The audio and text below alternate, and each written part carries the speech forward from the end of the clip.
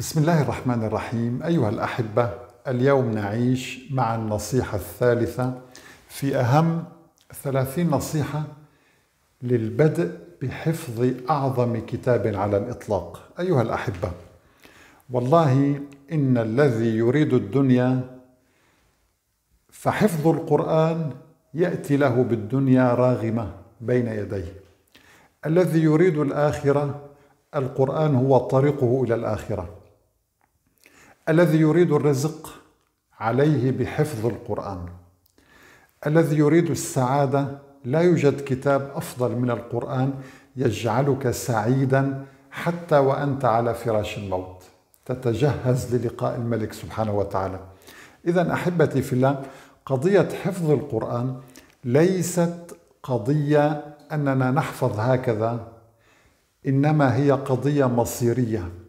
هذا الكتاب هو الذي سيوصلك إلى جنة عرضها السماوات والأرض. يا أخي اليوم أحدنا إذا أراد أن يؤسس بيتا يختار أفضل الأثاث إذا استطاع طبعا يختار أفضل المتاع أفضل الطعام أفضل يعني الأشكال يضعها من حوله ليستمتع ليرتاح لمثلا يعيش حياة هادئة مطمئنة يحاول وحياته قصيرة جدا على الأرض. أول ليلة في القبر تعادل كل حياتك التي عشتها. أول ليلة في ظلمات هذا القبر. طيب أنا أسعى لهذه الدنيا وأترك ظلمات القبر أترك البيت الحقيقي الذي سأعيش فيه حتى ألقى الله في عالم البرزخ. يجب أن أضيء هذا القبر أن أنور هذا القبر أن أجعل لهذا القبر أثاثا أجعل فيه أفضل شيء أجعله في القبر وليس في الدنيا أترك ورائي هذه الدنيا. فأفضل شيء هو أن تحفظ القرآن ليكون نورا لك في قبرك. اليوم أحبتي في الله أنا سأعيش مع هذه النصيحة الثالثة تخلص من الخوف. والاضطرابات النفسية. حفظ القرآن يخلصك من كل أنواع الاضطرابات النفسية. هذه المعلومة ينبغي أن تكون في أعماقك قبل أن تحفظ القرآن. لقد أثبت بعض الباحثين وجود قوة شفائية غريبة في كل آية من آيات هذا الكتاب العظيم. الحقيقة أيها الأحبة سأحدثكم عن تجربة شخصية. أنا ما الذي جعلني أقتنع أن هناك شفاء بالقرآن؟ عندما بدأت بحفظ القرآن قبل يعني أكثر من ثلاثين سنة بدأت أتذوق معاني هذا الكتاب العظيم. أقف حائرا متأملا ما, ما هذا الكلام؟ كلام غير بشري كلام غير مألوف.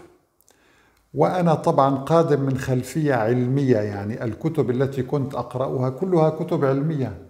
لم يكن في مكتبتي أي كتاب يتعلق بالدين أو آه، باستثناء القرآن الكريم فقط. كانت كل الكتب عبارة عن كتب رياضيات وفيزياء وكيمياء وكذا. فسبحان الله عندما بدأت بهذا الكتاب بحفظ هذا القرآن لم أعد أستمتع بأي كتاب آخر صراحة. أيقنت أن هذا الكتاب هو الكتاب الوحيد الذي يعرفك حقيقة ما يجري من حولك.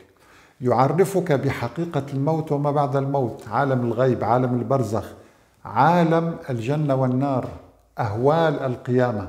يعرفك بمصيرك الحقيقي. فتركت كل الكتب على فكرة اللحظة التي بدأت بها أنني عزفت عن كل هذه الكتب بل تخلصت منها. وأبقيت عندي كتابا واحدا هو القرآن العظيم. وكان هذا قبل ثلاثين عاما كما قلت لكم أو أكثر أو أقل. عندما بدأت أتفرغ فقط للقرآن في الليل والنهار وأنا أمشي وأنا نائم وأنا آه، أذهب لأي مشوار وأنا أجلس مع الأصدقاء أو مع الأهل أو كذا كان دائما الشغل الشاغل هو القرآن.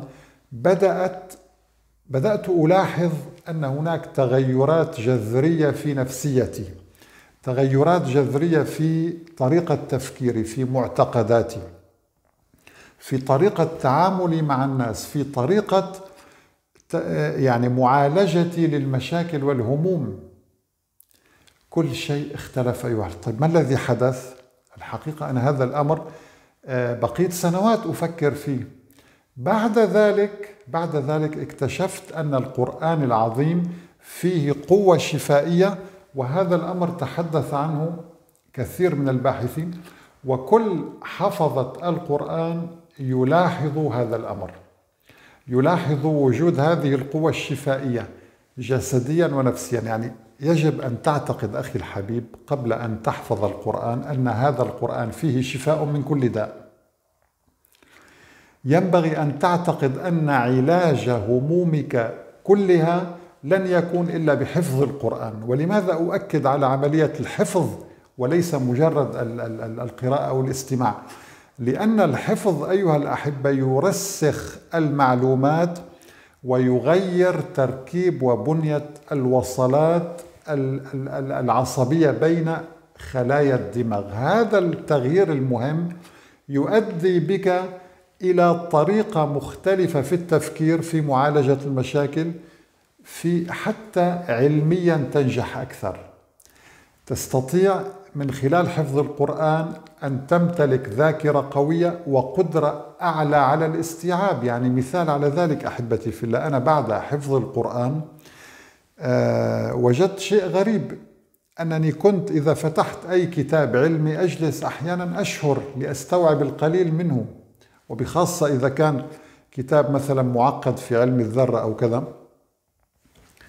بعد حفظ القرآن أصبح لدي تصفح أي كتاب علمي مهما كان معقد أمر بسيط جدا بل إنني أصبحت أكثر استيعابا للمعلومات وأسرع استيعابا. هذه تجربة شخصية.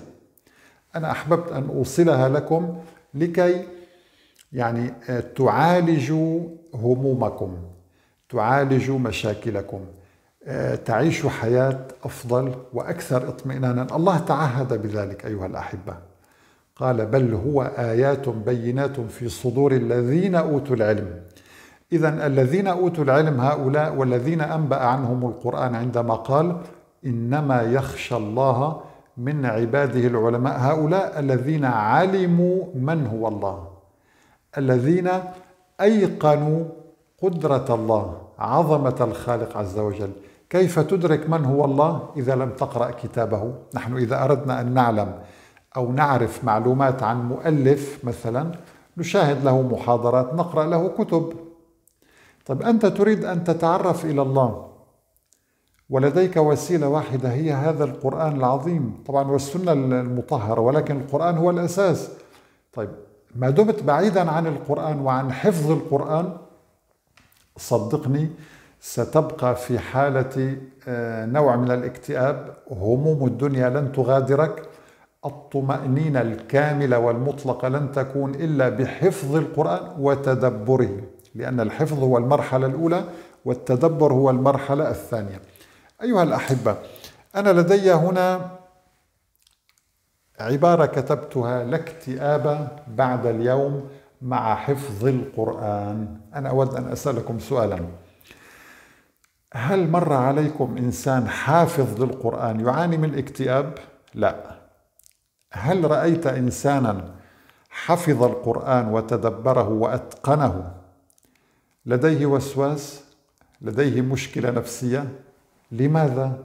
ما الذي يحدث أيها الأحبة؟ هناك تغيرات كما قلت لكم على مستوى القلب والدماغ والفؤاد والنظام المناعي حتى يتحسن.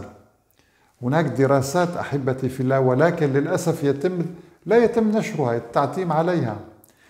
أي بحث علمي يتعلق بالقرآن الكريم للأسف يتم التعتيم عليه. لماذا؟ لأنه لو وصل لكثير من الملحدين مثل هذه الأبحاث لو وصلت لكانت سببا في إسلام الكثيرين. إنما نحن نقدم يعني ما أكرمنا الله به من علم وكما يقول الله سبحانه وتعالى فمن شاء فليؤمن ومن شاء فليكفر. هناك من يقتنع وهناك من لا يقتنع. أنا قديما لم أكن أقتنع أن القرآن فيه شفاء لكل الأمراض قديما جدا. بعد أن حفظت القرآن وعشت التجربة ولاحظت التغيرات التي حدثت يعني في داخلي في أعماقي أصبحت موقنا أن القرآن فيه شفاء لكل شيء وبخاصة الاكتئاب التجارب والمشاهدات أثبتت أن الذي يحفظ القرآن يكون أقل عرضة للإصابة بالأمراض وبخاصة الأمراض النفسية أيها الأحبة. الأمراض النفسية لا تأتي لأي إنسان، لماذا؟ لأي إنسان حفظ القرآن، لماذا؟ لأن القرآن فيه لغة تفهمها الروح. والروح كما قلنا مرارا هي برنامج التشغيل المسؤول عن تشغيل كل أعضاء الجسد. أي اضطراب نفسي يمثل خللا في هذا البرنامج القرآن يعيد برمجة هذه الأجزاء الدماغ والقلب وكذا لكي تعمل بأفضل صورة ممكنة. الطب لا يستطيع أن يتدخل في برنامج عمل الجسم. الطب الحديث أيها الأحبة طب مادي يتعامل مع الماديات فقط. أما الروح أولا العلماء لا يعترفون بها العلماء التجريبيون. النفس لا يعترفون بها وجود الخالق لا يعترفون به للأسف. لذلك أحبتي في الله يجب أن نعتقد أن الاكتئاب والوسواس ليس له علاج إلا حفظ القرآن حفظ أؤكد على الحفظ أحبتي في الله. والحفظ قضية سهلة لا تظن أنها صعبة. أسهل شيء أن تحفظ القرآن وهذا ما سنكتشفه في النصائح القادمة. طبعا هنا أيها الأحبة أنا لدي أيضا موضوع الولادة من جديد. حقيقة عندما تحفظ القرآن كاملا تشعر أنك بالفعل شخص آخر. يعني أنت الآن موجود. إذا حفظت القرآن سيكون يعني ستمثل مرحلتين ما قبل الحفظ وما بعد الحفظ. فعندما تبدأ بمشروع طبعا أهم مشروع أحبتي في الله أهم مشروع هو حفظ القرآن. عندما تبدأ بمشروع حفظ القرآن سوف تحس بأنك قد ولدت من جديد فهل تبدأ معنا هذا المشروع الذي سيغير حياتك؟ سأختم أيها الأحبة لكي لا أطيل عنكم لأن النصائح كثيرة والمعلومات غزيرة جدا وأنا أحاول الاختصار قدر المستطاع. أحبتي في الله لا تترك الشيطان يسوف ويوسوس لك ويقول لك غدا وغدا. منذ هذه اللحظة عندما تنتهي من هذا الفيديو مباشر أو قبل أن تنتهي قم توضأ افتح القرآن وقل أنا الآن سأبدأ بحفظ هذا القرآن واستخدم طريقة الاستماع للقرآن. النبي كيف حفظ القرآن؟ حفظه بالاستماع من سيدنا جبريل عليه السلام. إذا طريقة النبي كانت سماعا فأنت أحفظه سماعا. اليوم وسائل الاتصالات متوفرة الجوال الكمبيوتر شاشة التلفزيون أي شيء. تستطيع أن تضع صورة معينة وتكرر هذه الصورة ليلا نهارا على مدى أيام وربما أشهر. المهم أن تبدأ بحفظ سورة تحبها ويفضل أن تكون سورة طويلة. أنا حقيقة أول سورة حفظتها كانت سورة يوسف مع أنها طويلة ولكن كنت أحب هذه السورة فعكفت على الاستماع لسورة يوسف لمدة ثلاثة أو أربعة أشهر. ولكن بعد أن حفظت هذه السورة أصبحت قضية الحفظ سهلة جدا. طبعا في اللقاء القادم إن شاء الله سنتابع تقنيات جديدة في حفظ القرآن. نسأل الله سبحانه وتعالى أن يعيننا وإياكم على حفظ كتابه الكريم. إنه سميع قريب مجيب. والسلام عليكم ورحمة الله تعالى وبركاته.